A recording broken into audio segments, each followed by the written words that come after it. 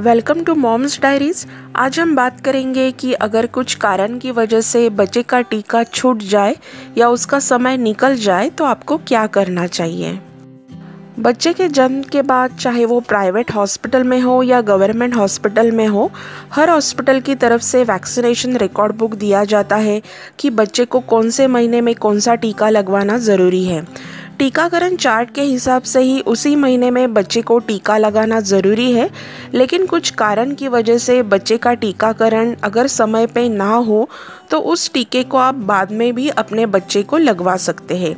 लेकिन बच्चे को हर टीका लगाना ज़रूरी है। कोविड की वजह से बच्चों का टीकाकरण समय पे नहीं हो पाया है कुछ बच्चों को तो एक साल से कोई भी टीका ही नहीं लगा है। ऐसे केस में भी आप वो वैक्सीन आप ले सकते हैं। बस ये ध्यान रखें कि हर टीके के बीच 28 दिन का गैप होना ज़रूरी है। सारे टीके बच्चों को एक ही दिन में ना लगवाएँ। इसके लिए आप बच्चों के डॉक्टर की राय ज़रूर लें और उस हिसाब से वैक्सीनेशन करवाएँ। वैक्सीनेशन चार्ट का वीडियो मैंने अलग से बनाया है। उसके साथ ही बच्चों को वैक्सीनेशन के दर से राहत देने के लिए आपको क्या करना चाहिए, इसका भी मैंने अलग से वीडियो बनाया है। वो आप प्लीज़ देख लीजिए। लिंक मैंने डिस्क्रिप्शन बॉक्स में दी है।